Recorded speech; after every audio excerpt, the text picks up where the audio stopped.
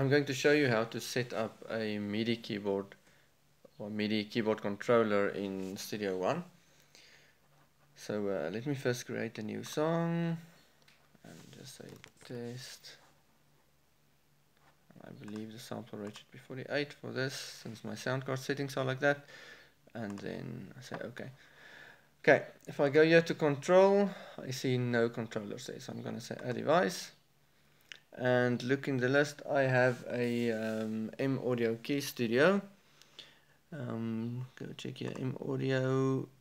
There's actually no key studio in this list so I will have to create a custom keyboard. So let me say new keyboard and um,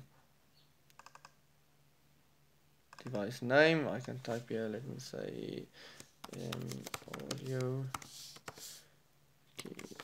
Studio.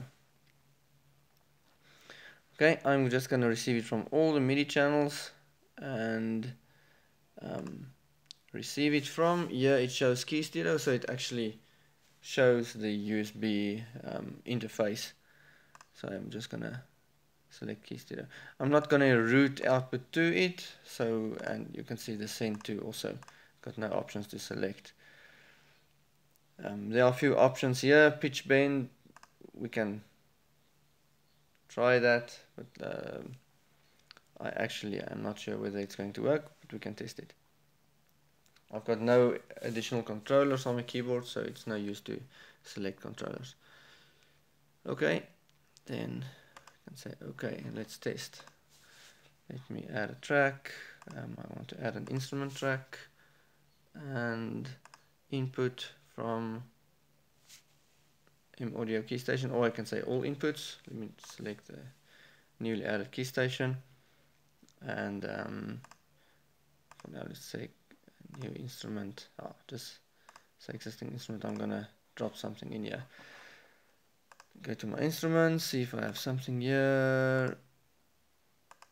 Oh, let's see if we find a take electric piano for add it here. Let me. Oh, we can hear something.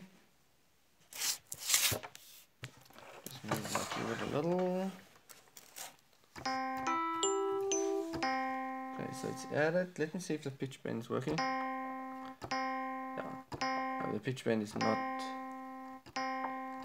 Okay, I can see my modulation wheels working, but my pitch bend is actually not working you can see it here, here the modulation.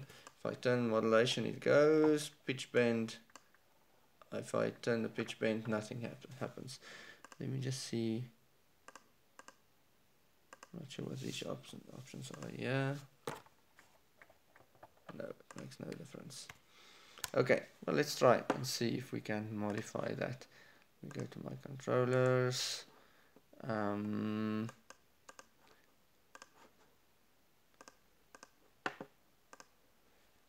let's see where is it? Studio one.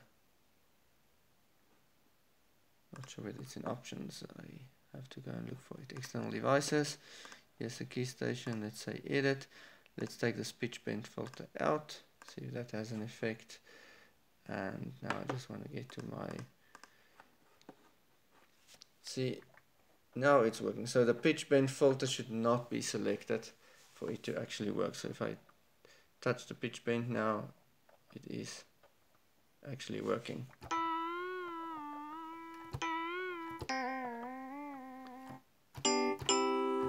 Okay.